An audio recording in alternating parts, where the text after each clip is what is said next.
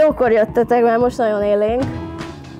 Ez a kedvenc játéka, amúgy a Maci az egyáltalán nem érdekli őt, csak a kezem. Ha csak 5 percig imádni való képeket mutatnánk focistánk Diószegi Fanni kis Rottweileréről, Xamáról és gazdiáról, ahogy játszanak, már ki is maxolnánk a cukiság faktort. Aki egyébként ismeri Fannit, az tudja róla és családjáról, hogy óriási kutya, egyben Rottweiler barátok. Nálam így a kutyák is főszerepben, főszerepben vannak, ugyanúgy, mint ahogy a foci.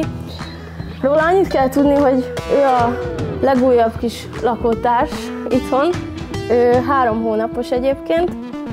Az a különlegessége talán, hogy két saját kutyus, két saját kutyusunktól születtek most a kiskutyák. Nagyon durva, nagyon komoly harcokat vív anyukájával, apukájával.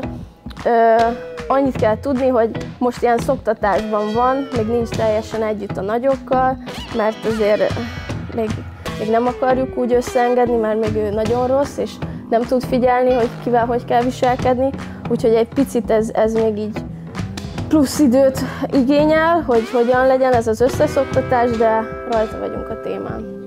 Fanni családja nem csak hobbiból tart rottweilereket, hanem tenyésztik is a fajtát. A kutyákkal való kezdeti ismerkedés nagyon hamar, már más szerelemmé vált. Van egy Jordan, a legidősebb kutyusunk, 5 éves kan kutya, és egy barátunk, most már mondhatom, hogy barátunk, Varga Gyuri, ő az egyik leghíresebb Rottweiler tenyésztő itt Magyarországon. Vele nagyon jóba lettünk, és igazából így kezdődött ez az egész folyamat.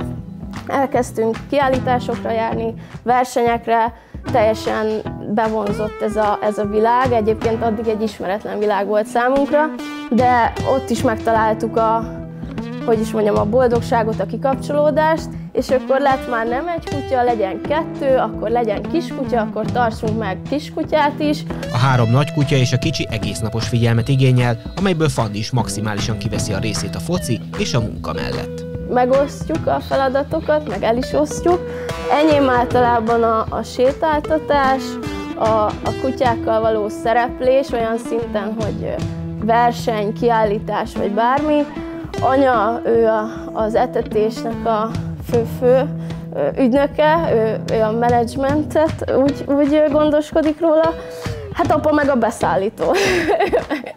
ő meg hoz haza mindent. A kanapén történő interjúzás nem is bírta sokáig a kiskutya, a játék mellett nagy örömmel pózolt a kamerának is. Hát ő tápot kap, egyébként még naponta háromszor kap enni, de ahogy mondjuk adunk neki egy kis jutalmat, vagy egy kis sonka, csirkehúsi, vagy bármi, akkor már fú, hát akkor úgy eszik, mint hogyha három napja nem kapott volna semmi, semmi Tehát Lehet, hogy épp 10 órakor úgy tartja kedve, hogy ő most játszani akar, hát nem mindig vannak játszós kedvükben a nagyok, úgyhogy ez, ez tényleg azt a célt szolgálja, illetve próbáljuk ugye nevelni arra, hogy a pelusra pisiljen, stb. stb.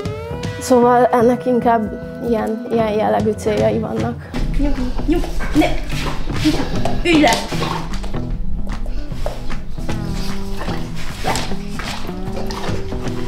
Ők olyanok, mint a családtagok. Nekem nincs tesóm, nekem én mindig mondtam, hogy nekem olyan, mint hogyha a kutyák lettek volna a tesóim mindig is. Lehet, hogy anyáik jobban is szeretik őket néha, vagy kevesebb baj van velük. Kutya szépség verseny szakosztály lenne a Fradiban, akkor te lennél a vezetője? Hát remélem. Szerintem már rászolgáltam erre a címre. Remélem, igen.